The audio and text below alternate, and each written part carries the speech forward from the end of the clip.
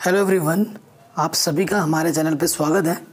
आज के इस वीडियो में हम डिस्कस कर रहे हैं मिनिमल मॉडुलस प्रिंसिपल के बारे में। ये टॉपिक बहुत इंपॉर्टेंट है और मिनिमम या फिर मैक्सिमम, इन दोनों में से एक कोई प्रिंसिपल आ ही जाता है एग्ज़ाम में।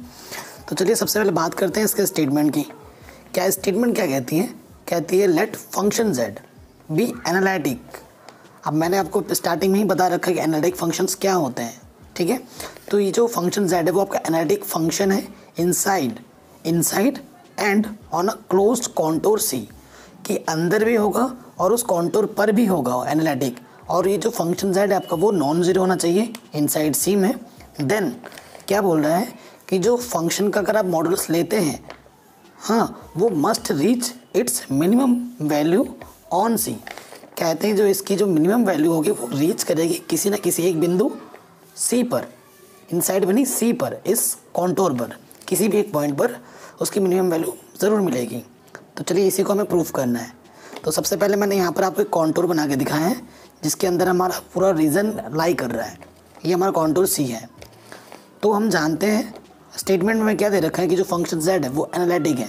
Since function z is analytic inside and on C and z does not equal to zero inside C ये तो हमें स्टेटमेंट में ही पता होगा।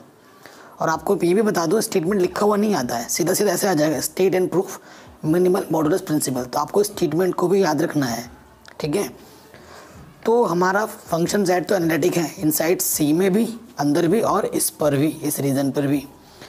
अगर ऐसा है तो हमारा जो वन अपॉन एफ़ जेड की अगर बात करें, वो भी एनालिटिक होगा इनसाइड सी में, क्योंकि आपका फ़ंक्शन जेड आपका नॉन ज़ीरो है, ठीक?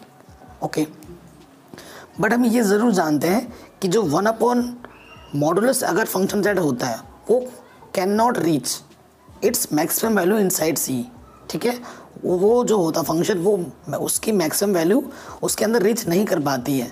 अगर one upon modulus function z maximum value reach नहीं कर पा रही है, इसका मतलब क्या हुआ?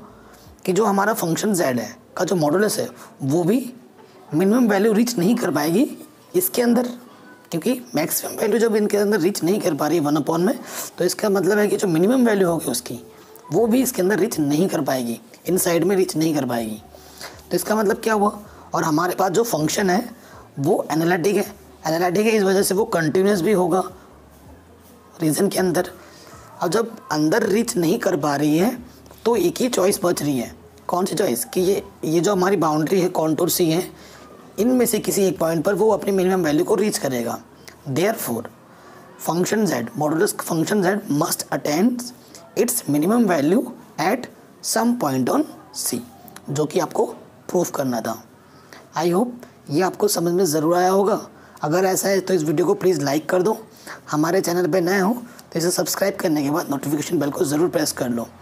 और नेक्स्ट वीडियो आपको जिस टॉपिक पे भी चाहिए, उसे कमेंट करके बता दो। Thank you